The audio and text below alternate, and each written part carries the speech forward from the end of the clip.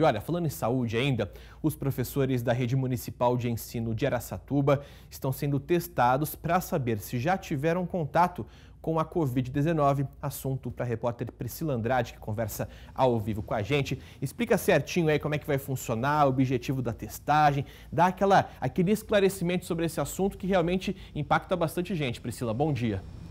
Nossa, isso é uma verdade, impacta mesmo. Bom dia para você, casa. Bom dia para todo mundo que está assistindo de sua casa. O objetivo principal, segundo a Secretaria Municipal de Educação, é saber quantos professores tiveram contato com o vírus. Mas reforçou o seguinte: independentemente do resultado, não, há, não vai afetar o cronograma já definido para este ano, vigente ainda em 2020, que se trata das aulas ainda de forma remota, ou seja, pela internet. Só se torna presencial se o aluno precisar de uma atenção maior.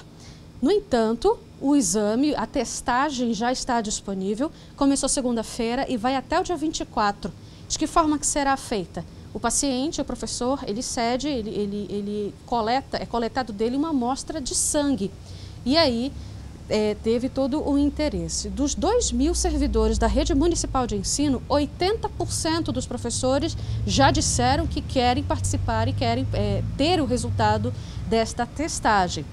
Segundo a secretária Silvana de Souza e Souza, disse o seguinte, que embora o resultado não vá interferir no cronograma este ano, mas para 2021 sim, justamente para elaborar estratégias ou para se ter uma margem de segurança tanto para os estudantes quanto para os professores.